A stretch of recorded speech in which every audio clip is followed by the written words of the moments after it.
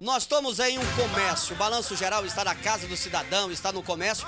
No comércio que tem até notas que foram sucesso no passado, que hoje já estão guardadinhas do Banco Central. Banco Central só não, tá guardadinha aqui no comércio desse cidadão.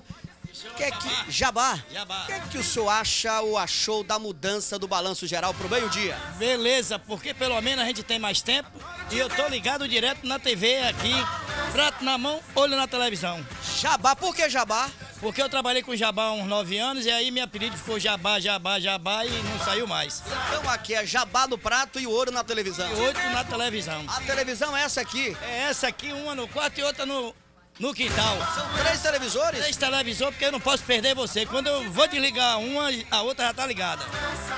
Tá bom, seu Jabá. Obrigado aí, comerciante aí, Itabuna, acompanhando o Balanço Geral, três televisores. Daqui a pouco tem mais, daqui a pouco tem mais. O Balanço Geral pode chegar a qualquer momento na sua casa, hein? Eu vou na sua casa a qualquer momento. Vou pegar você aí com o televisor ligado aqui no Balanço Geral. Aguarde, hein? Eu vou chegar aí na sua casa, pode ter certeza. Depois a gente conversa, depois a gente conversa. Tira isso do ar aí.